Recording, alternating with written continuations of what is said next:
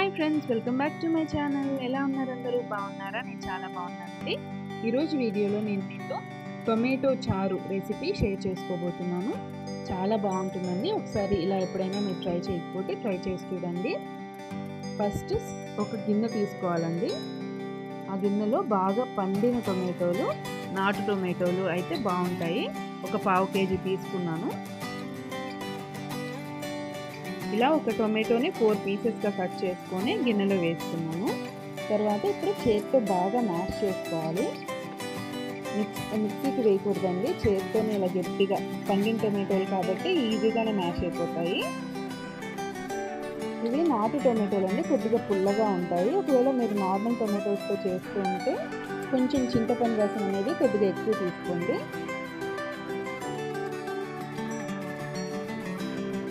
ఇలా గట్టిగా మ్యాష్ చేసేసుకున్న తర్వాత రసం అంతా ఇలా పిండేసి ఈ టొమాటో తొక్కలు ఉంటాయి కదండి పడేయచ్చు.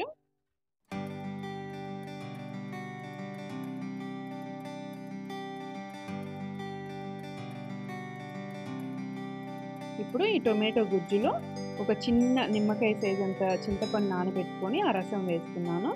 తర్వాత పచ్చిమిరపకాయలు ఒక ఐదు పచ్చిమిరపకాయలు ఇలా పొడుగ్గా చీల్చుకొని వేసుకోవాలి. ఒక పావు స్పూన్ పసుపు రుచికి సరిపడా ఉప్పు వేసుకోవాలి. తర్వాత వాటర్ అండి.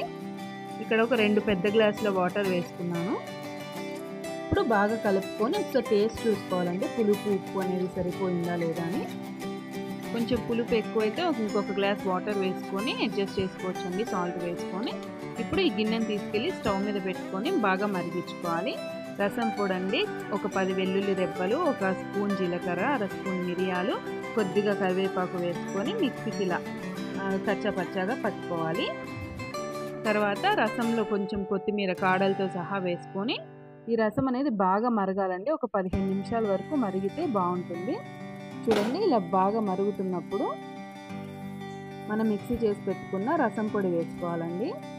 వెల్లుల్లి జీలకర్ర మిరియాలు కరివేపాకు. ఈ పొడి వేసుకున్నాక ఎక్కువగా మరగాల్సిన పని లేదు. స్టవ్ని లో ఫ్లేమ్లో పెట్టేసుకొని ఇప్పుడు ఈ రసంకి పోపు వేసుకున్నాము స్టవ్ మీద ఒక ప్యాన్ పెట్టుకొని దాంట్లో ఒక్క టేబుల్ స్పూన్ ఆయిల్ అయితే సరిపోతుందండి. ఆయిల్ కొంచెం వేడెక్కిన తర్వాత అర స్పూన్ ఆవాలు అర స్పూన్ జీలకర్ర ఒక స్పూన్ మినప్పప్పు చిన్న స్పూన్ అండి. ఒక రెండు వెల్లుల్లి రెప్పలు ఇలా దంచుకొని వేసుకోవాలి. ఒక రెండు ఎండుమిరపకాయలు ఇలా తుంచుకొని వేసుకోవాలి.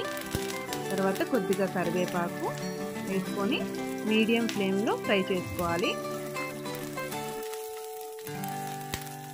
నుండి పోపు కొద్దిగా వేగిన తర్వాత ఒక చిటికెడు ఇంగు వేసుకోవాలి.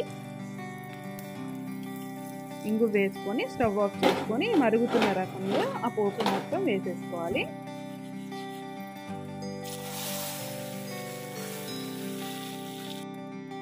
పోపు వేసుకున్నాక ఒక్కసారి కలుపుకొని వెంటనే మూత పెట్టేసుకొని ఒక్క నిమిషం అలా మరిగించుకుంటే టొమాటో చారు టొమాటో రసం రెడీ అయిపోతుంది.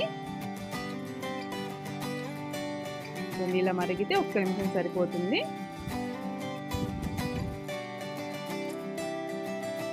టొమాటో చారుని మనం వేడివేడి అన్నంలో ఏదన్నా ఫ్రై కర్రీని పెట్టుకొని లేకపోతే అప్పడాలు వడియాలతో సర్వ్ చేసుకోవచ్చండి. చాలా బాగుంటుంది. ఖచ్చితంగా ట్రై చేయండి. అండ్ ఫ్రెండ్స్ మీకు ఈ వీడియో నచ్చితే ప్లీజ్ లైక్ చేయండి షేర్ చేయండి కామెంట్ చేయండి.